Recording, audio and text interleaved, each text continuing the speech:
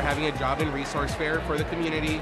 Uh, one hasn't been done in a really long time. So majority are the residents of El Sereno, Lincoln Heights, uh, the surrounding areas. We have a slew of different jobs and resources, medical services, or if they need free tax program, uh, they're more than welcome to come in and enroll with us and take advantage of those programs.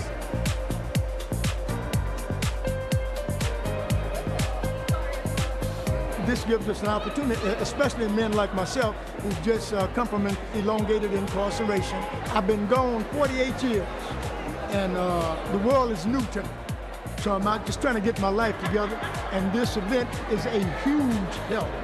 We get a chance to change our attitudes by changing our outlook on life and everything. It's, uh, it's wonderful, man.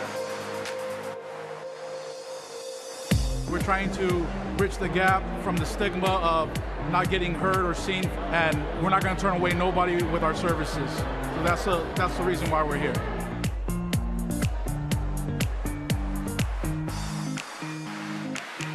They can be self-sufficient. You know, uh, we want them to rely on themselves as opposed to anyone else, and, and we do want them to better themselves. One of my favorite things here was the educational resource.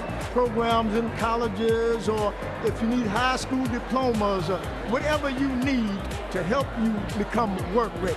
They're offering it, they're offering it freely. It's so life enriching, man. I just, I would love for anybody to have this opportunity. This is wonderful, man. This is really wonderful.